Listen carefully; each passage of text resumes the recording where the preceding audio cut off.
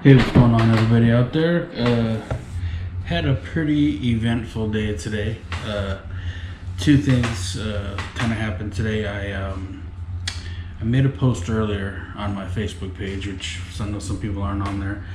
It had to do with um, Tim Tebow getting re-signed uh, by or getting signed by Jacksonville Jaguars, and, and I'll get into the whole story a little bit later.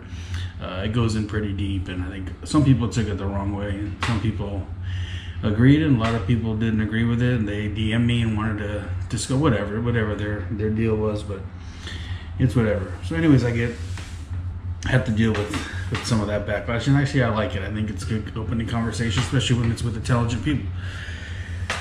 So anyways, as many of you know, I order um, a lot of cards and things, and every once in a while, I order a mystery pack, uh, mystery pack, mystery box. So um, I ordered four of them uh, a while back, and um, hadn't seen them come in, and was just wondering, man, where in the hell are these things at? So I'm uh, sitting there, and my mom messaged me saying, "You got four packages here." I was like, "All right, cool." So I get home and. Uh, thinking to myself because at first I didn't remember what they were. I, I just just four packages. It was some stuff that I bought before, some cards. I had some cards coming in that I was waiting for, and um, I started opening the first package, and I'm opening it, and I'm like, "What the hell is this? Like, I didn't order this." I open it, and it's a uh, Saints hat. I don't want to crease the bill too much, so everyone knows I'm not a Saints fan. Um, Drew Brees is cool, but I'm not a big Saints guy. So I'm thinking, well, you know, it's I'll wear a hat. You know, I like, like to have a hat at the gym, or you know, I don't generally run a comb through my hair because I'm not that type of guy sometimes. So I just uh, throw a hat on, and uh, it's, a, it's a brand new hat. It's good quality, you know, snap back, and so I open up and say, well, whatever, man. I'll, there's another package. I open this one. Maybe it's cards because that's what I'm looking for, or some kind of collector's thing. Open and open up the next box. It's another Saints hat. So now I got two Saints hats, and I'm thinking like I don't even know two Saints fans. So I'm thinking I can't sell them. I can't even give them away because I don't know any, any Saints fans. Um, so I'm saying, what the fuck do I do with these hats? I'm thinking, where did they come from? Why, why would I order two Saints hats? Let alone one. I mean, one Saint hat, let alone two. So I'm like, fuck, man, I can't believe this happened. You know, whatever though. You know, I'll figure something out. Must have been a wrong address. You know, they sent to the wrong person. You know, but two of them, they released. The guy mailed two Saints hats to one address. So I'm like, okay, whatever. Just put them to the side. I go, man, I got another packages. I'm open, gonna open up more. Open up package three. Another Saints hat. So at this point, this point, I'm thinking somebody's ribbing me. Thinking it's it's Titus or Vinny or somebody's joking with me. My mom's in on it, and it's the perfect setup, you know, for these guys to screw with me. I'm looking for the cameras and what's the old Ashton Kutcher to come out and say I'm being punked. And I'm thinking like, what am I gonna do with, with three Saints hats? Make it a Niners hat. At least I can sell those. I know Niner fans. I, I you know I know other fans of other teams. Hell, I know Charger fans. I know freaking fans that you know from every team in the league except the Saints. So I'm I'm fucking you know at this point I'm ready to just throw these fucking things in the garbage. But they're good quality. I just don't want to throw them away. So I'm just like, well, you know, I guess for the next years of my life, I'll have Saints hats that I'll wear, and you know, if they ever win, then uh, I'll, I'll say I was a fan from the beginning. So I'm opening it up, and I'm like, okay, well, I still got one more package. I got one more package to go. There's no way this could be another Saints hat. Uh, you know, there's no way that this guy mailed four Saints hats to one one address by mistake. So I open up the package and to my surprise, it's a fourth Saints hat. so I have four Saints hats, and I don't know what to do with them. Um, I mean, I could like sell them on eBay and all that stuff, but I don't even sell things on eBay. You know, so I don't, I don't, I don't know what I'm gonna do with these hats. Um, I said I'll keep one, because I just like to have an extra hat around. Um, and I did after going through my day, I realized that my niece Jackie is a huge Saints fan. I knew I knew one kind of, but uh, she's a huge Saints fan, so I'll be giving her one. So I'll have two left. Uh, if anybody wants them, hey, make me an offer. Uh, I just was thought it was hilarious that I have these Saints hats and I don't. So then after I'm, I'm researching this and I find the guy's uh, email and everything, I sent us to do. Did you send these hats by mistake? And he's like, No, man. Because I see, he goes, You ordered them, and I was like, I didn't order four separate Saints hats. And he's like, No, but you ordered them uh, four mystery packs. Are you fucking kidding me? I'm like, Your mystery pack ad says you could get you know, fucking Zion cards or Patrick Mahomes cards or, you know, sports memorabilia. And then he says, yeah, but it says apparel too. And I said, yeah, okay, bro, but why would you send me four Saints hats separately mystery? Because, well, I just, I just sent them out in bulk. So, needless to say, for this guy, I'm going to give him one good rating and the other we are to be shit. So, um, screw you for just loading up different, different, uh, different uh, packages with the same product and not caring about your customers. Um, but anyways, that was my experience with mystery pack on eBay. But they are definitely nice hats. NFL 950 snapback, new era. Okay, now getting on to this Tim Tebow subject. I did this post, and the post was in response to another post that I saw and the person was talking about how, oh, Tim Tebow's got a contract, but Colin Kaepernick's still waiting for a team or, or whatever it was. My first thought was like, this doesn't have to be about race. It's really not about race. If anything, it's about a guy getting a chance because his friend and mentor is a coach. He get a chance that not a lot of people would get because of who he knows. And as I put the post up, I put down if you think you know Tebow getting a second chance is is bad, but these guys it's okay. And it was like Michael Vick who fought dogs, uh, uh, Ray Rice who beat up his wife in the elevator, I think it was, knocked her out.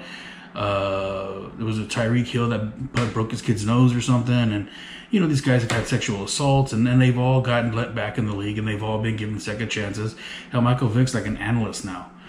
You know, shit, Charles Barkley was betting and got gambling charges, and he was freaking, you know, he's an analyst now. So it's like, you can't blame this guy for, you know, taking an opportunity and getting an opportunity because of who he is and who he knows. It's just the way uh, life is. Uh, people in every walk of life get a chance and a shot that they don't deserve.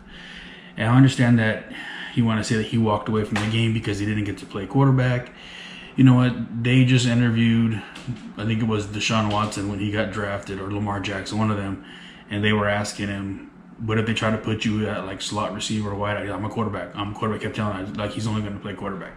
I get it. You only want to be a quarterback. That's what Tebow wanted. End of the day, the kid, or I keep calling him the kid, but the guy, you know, he is arguably one of the greatest college football players ever um, he has back up the stats to prove it. Uh, in the NFL, he was a flop. I mean, he he won some games and he did, you know, and he did really. He's he was a that last what last six or seven games of the Broncos, he was a winner. Um, stats though, like as a coach, you know, I know a win's a win, but yeah, that's pretty bad spat, stats he had. But end of the day, he got it done. Um, so that's the kind of guy you want on your team. And however, he, they didn't feel he could play quarterback. They wanted to move him. He took his ball and ran. Uh, okay, you know, a lot of people do that. A lot of people quit something they don't think they, they, they want to do or switch, and it's just the way life is.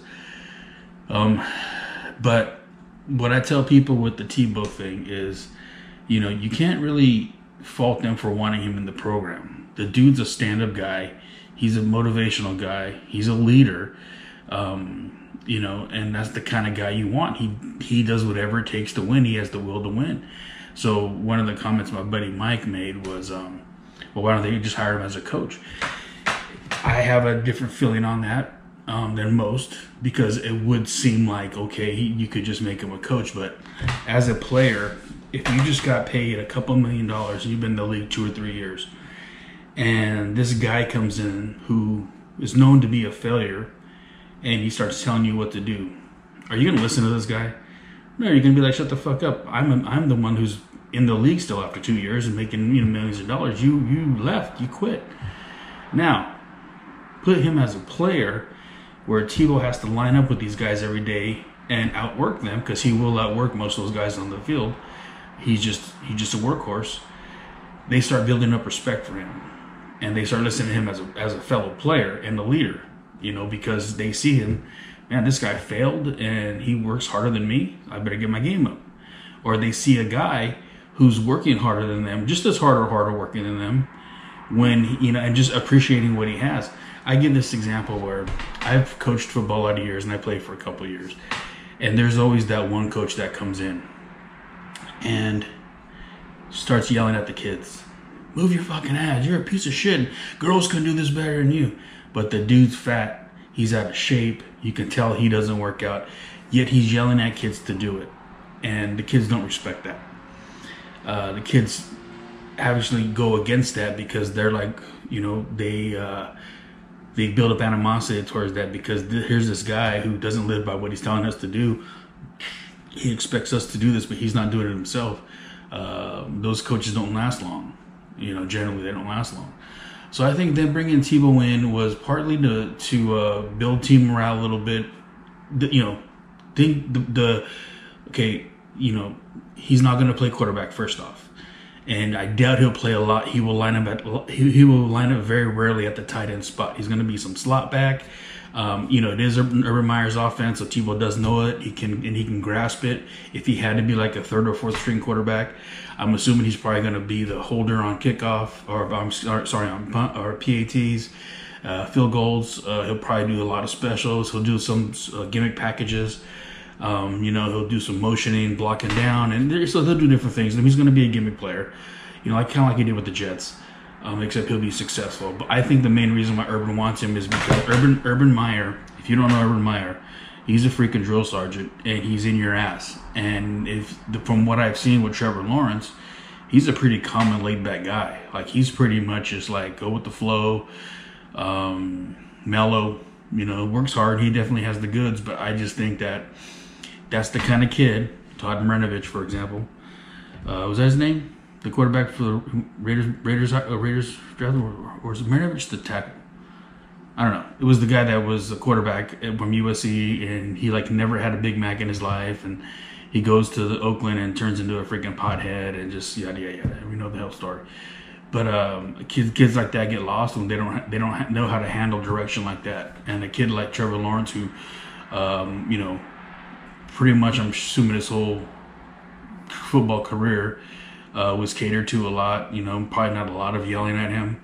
I'm not saying he's a prima donna or anything, but when you get a guy like Urban Meyer who is a perfectionist and doesn't care about anything you've done or you say you can do, um, you need it's a special person that can that can deal with that. And I think Tebow's going to be the go between between the, them two, and kind of just pattern that, mentor that. And, I, you know, in two years, Tebow will probably be done playing football and be coaching.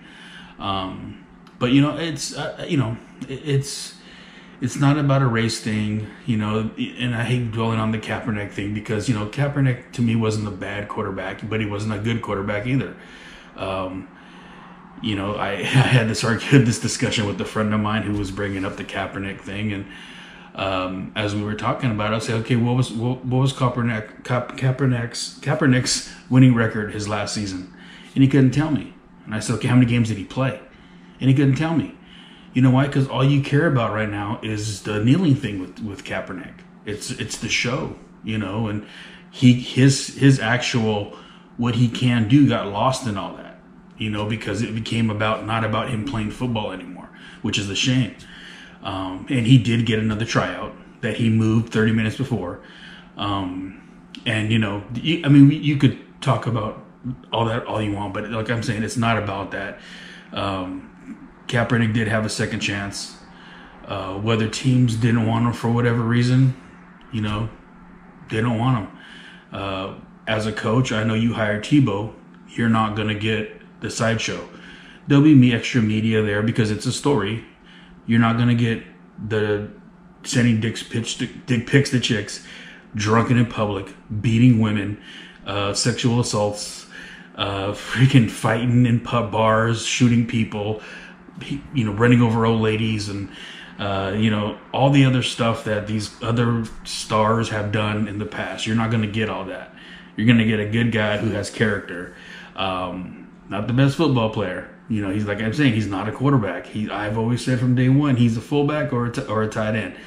Um, but you're going to get a quality, good character guy, and that's what football should be about. Is about good character, uh, and it's not a lot of times. Um, so I don't know. I don't think it's. I don't think it's.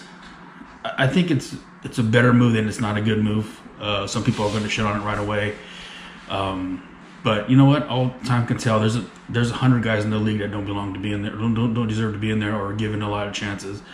Uh, just let it pan out. Let it see what happens. You know, um, it's just a shame that that's what the media is going to talk about is this story rather than other things that they should be talking about. You know, um, but hey, it is what it is, man. Uh, I just, I just, that was just my two cents on it, coming from a player, a coach, uh, a fan, uh, just a, a person who who has a different outlook on some things. Uh, I'm not thinking Tebow's going to come in and now the Jets are going to, or the, excuse me, the Jaguars are going to win the freaking, uh, you know, Super Bowl. You know, they do have a way better team now with not just with him, but with the guys they have, they, you know, Trevor Lawrence and the other guys that they got.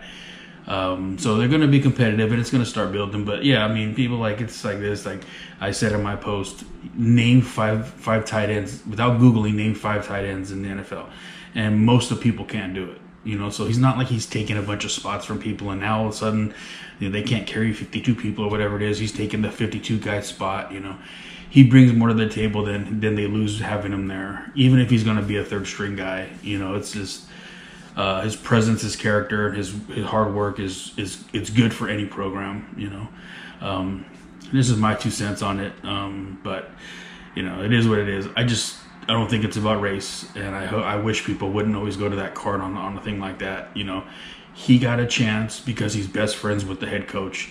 The head coach trusts him, likes him, and knows what he can do, so he gave him a chance. Uh, I put this on my post earlier too that I uh, I hire people for my wrestling shows for a couple reasons. One is because I can trust them. Two is I know their work they You know,